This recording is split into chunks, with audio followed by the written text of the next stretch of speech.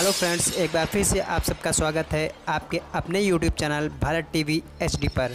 Friends, क्या आपको पता है कि भारत में एक ऐसा पेड़ भी है जिसकी सुरक्षा 24 घंटे पुलिस करती है? जी हाँ सही सुना आपने। अपने देश भारत में एक ऐसा अद्भुत पेड़ है जिसकी सुरक्षा में 24 घंटे पुलिस तैनात रहती है। तो चलिए जानते हैं उस पेड़ के विषय में और यह पेड़ किससे संबंधित है? सो फ्रेंड्स वीडियो शुरू करने से पहले, यदि आप चैनल पर पहली बार विज़िट कर रहे हैं तो प्लीज़ चैनल को सब्सक्राइब ज़रूर कर लें। साथ में बेल आइकन को भी प्रेस कर दें, क्योंकि तो यहाँ पर ऐसे ही रोचक एवं ज्ञानवर्धक वीडियोस आपको मिलती रहेंगी। तो चलिए शुरू करते हैं। तो चलिए बात करते हैं भारत के ऐसे अनोखे पेड़ के विषय में, जिसकी सुरक्षा 24 घंटे पुलिस द्वारा की जाती है। तो ये पेड़ स्थित है मध्य प्रदेश की राजधानी भोपाल और विदिशा के बीच सलामतपुर की पहाड़ी पर।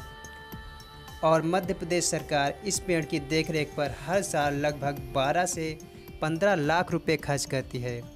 यहाँ तक कि इस पेड़ की सुरक्षा के लिए हफ़्ते के सातों दिन 24 घंटे चार पुलिस लगे रहते हैं।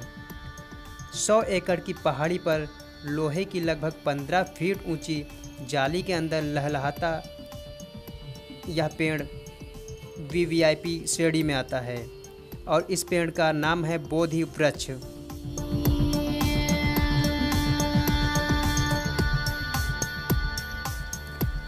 इस पेड़ को इतना महत्व देने के पीछे मान्यता है कि इस पेड़ को बोध वृक्ष कहा जाता है और इसे श्रीलंका के पूर्व राष्ट्रपति महिंद्रा राजपक्षे ने लगाया था।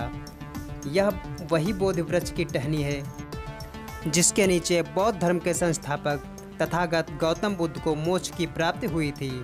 इसी को महत्व देते हुए इसकी सुरक्षा और बंदोबस्त को इतना महत्व दिया जाता है। और इस वृक्ष की सुरक्षा में 24 घंटे चार पुलिसकर्मी तैनात रहते हैं। सो फ्रेंड्स ये जानकारी आपको कैसी लगी कमेंट बॉक्स में ज़रूर बताएँ।